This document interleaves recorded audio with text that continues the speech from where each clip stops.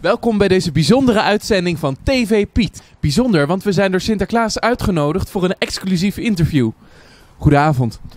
Ik snap niet dat Sinterklaas tijd heeft voor jullie eh, gekke kleurenziekte. Kleurenkoorts. En volgens mij is het wel belangrijk, ook voor Sinterklaas. Dat bepaalt hij nog altijd zelf.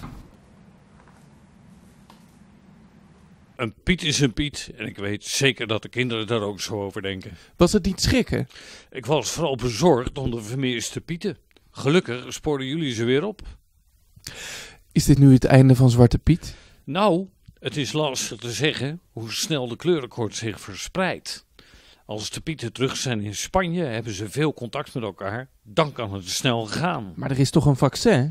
Ja, er is een vaccin en u zult begrijpen dat het geld mij niet op de rug groeit.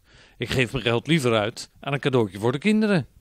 Sinterklaas, Sinterklaas. Dat is een mooie kleur voor de staf, Piet. Ik voel me niet zo lekker. We doen wat dokter Oderoy zegt. Vroeg naar bed met een kruik en morgen ben je weer de oude. Ja, maar... Wel te rusten. En nu is het tijd om weer het dak op te gaan. Dit was Camille van der Laan voor TV Piet.